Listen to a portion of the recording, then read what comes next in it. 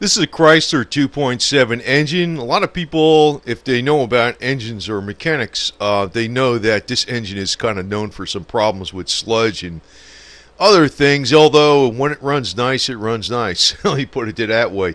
I don't want to get an argument over, uh, you know, engine technology or you know what you think about this or that, but I just want to point out some tip that a lot of people are ignoring. It's a very simple tip, and there's actually a number of things I'm going to go into on this video about the 2.7 engine and some of the things you could do to resolve the problems.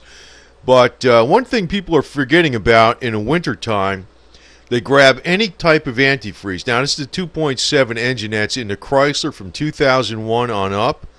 Um, now, there's one critical issue with it is the water pump starts leaking water it's internal to the engine. So if the water leaks inside the engine, it mixes with the oil, it gets in the rod bearings, and goodbye motor. So it's very critical you use the proper type of antifreeze with this engine. It's far more critical than in other engines. And one of the issues people look at, well, they go to a store, they'll say, you know, mixes with any type of antifreeze. You know, actually, that is not true. That is not true. And uh, the one brand, well, you can use Mopar. You can actually go to the dealership and use Mopar brand antifreeze.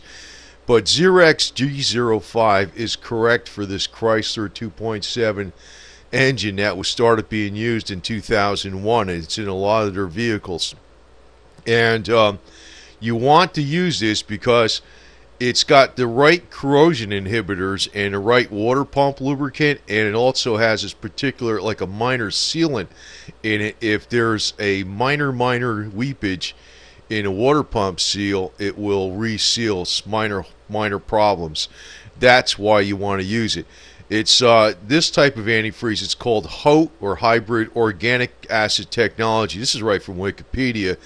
They typically mix, mix with other types but it's you don't want to you know you don't want to do that in the Chrysler. You want to keep only this type of antifreeze.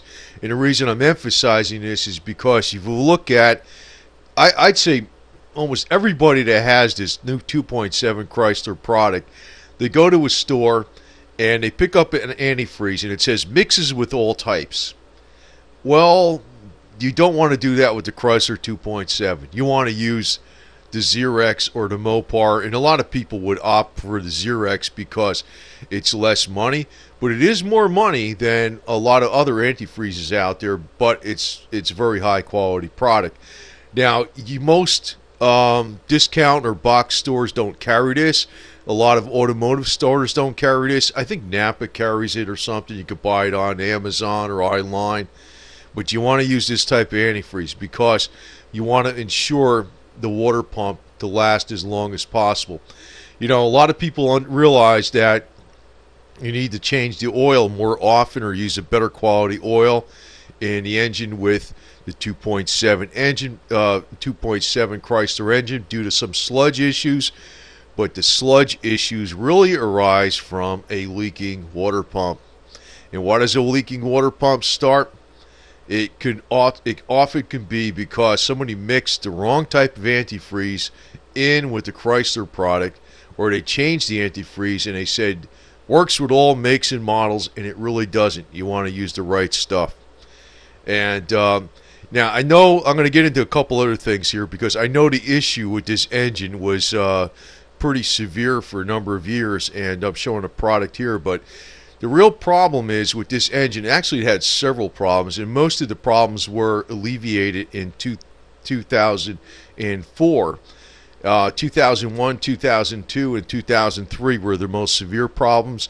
They had a number of issues with, um, you know, this may be controversial, but some of the oil passages weren't well, thick, wide, uh, opened up enough.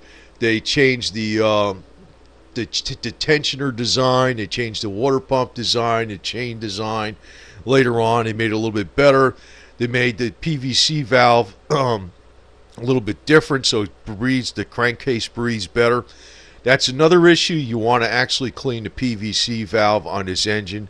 uh, more often to make sure that it, it um, the crankcase is breathing good so it doesn't have sludge problems. That'll help prevent sludge problems. But the simplest thing is, and I think this is the real thing that a lot of people do things wrong, is uh, they're not using the right type of antifreeze with this. It needs to have this type of HOAT antifreeze. G05, Zerex GL5 is the right type for this engine, or you can go to the dealership and get the Mopar antifreeze. Now, if you have an issue with this engine and say you want to change, you want to change the water pump, um, it's a difficult job to do. Actually, it's pretty well. It's, uh, it's very labor intensive. But there's one thing you want to do when you change out this water pump. You want to um, use a, um, you know, I'm not going to knock all aftermarket parts, but if you want to be on the safe side, not all aftermarket parts are created equal. You know, they all say meet or exceed OEM, and that's not always true. Uh, you actually want to get the Chrysler water pump. You're probably better off. You know, you're paying a little bit more money. It's a very, it's it's at least as good as the best aftermarket pump out there. Now, and like again, you want to use the right antifreeze with the pump to make sure it has the most uh, pump life, the water pump life, so the water does not leak into the engine. In other words, the uh, seal and the bearing will last a lot longer. It's uh, it you know it's an anti-corrosion type antifreeze, and if there's a slight slight leak in a water pump seal, the Zerex G05 will actually seal it up. You know that's the other thing that's advantage to it. So and you don't want to mix any other types, even though these other antifreezes say MIG works with all makes and models. That is not true. Anyway, now I drew a uh, rectangle here by this chain uh, tensioner. And actually the problem with this, sometimes when they get sludge in these engines, the chain, chain tensioner either collapses or gets stuck or whatever, and that's the problem. And then it loses all tension on this chain. Then the timing chain jumps, and then the cam gears, you know, well, the valves hit the pistons, in short. That's what happens. But there's a device, and actually they should have made this right from the factory. It's amazing, you know. But they came out with this in the aftermarket. It's called a timing chain stop block. You can get them off eBay to call timing chain stop block for Chrysler 2.7 engine. And if you change out your chain and your water pump, and actually usually it's not the chain that's the problem. It's the the water pump and the tensioner. It's usually the chains last forever. It's never that really the chain that breaks. It's the it's the tensioner or the shoes or the or the pump. It's not the chain usually, but you change all that stuff out and you want to change it because its car's got a lot of miles on it, you want to put one of these in there, a stop block, and it's not guaranteed insurance, but if you use this with the good water pump and the correct antifreeze, it probably will last a long time with good maintenance. So um, this is the chain stop block. It's kind of a big picture of it, but it fits right in this area. It bolts straight into the side of the engine, and it keeps this shoe like this this uh, chain tensioner failed over here. The shoe would would would hit the chain stop block, and it would hold everything together. They should have actually put this in there in the first place, but they didn't, so, you know. And if you actually need to replace an engine in a car, and, you know, I guess, you know, some of the convertibles are more desirable. I have a 99 convertible Sebring with a Mitsubishi engine. That's why I never went to a newer one because I, I was looking at this and I says, man, I don't want to deal with this. Um, but if you have this and you have like an engine failure, say, and, you know, there's a problem, make sure you get if you get a 2.7 engine and if it's for like a 2001 2002 or 2003 car make sure you get at least a 2004 or 2005 or up engine that you could put in there because it has the new design. Change out the water pump with the OEM of Chrysler pump from the factory. Put this this block stop thing in there and use the correct antifreeze. And it probably will last a long time.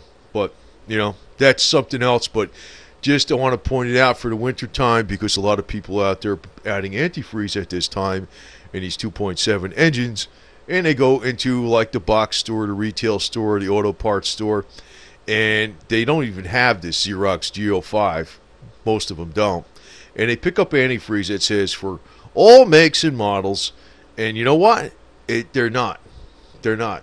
That's bogus. I don't know why they, they shouldn't write that on here. Actually, it's not so super critical in a lot of other cars maybe that call for the HOAT antifreeze, but in the Chrysler with that water pump issue, it is more critical. So, just want to put this out here because uh, you know it could save somebody a lot of money if you you know if you use the wrong antifreeze and it causes your water pump to fail quicker. That is a big issue because you're going to have goodbye motor in this engine. In this engine, so that's an important uh, tip, and I just want to pass that on. And a lot of people don't notice. That's a fact. A lot of people don't notice. So anyway,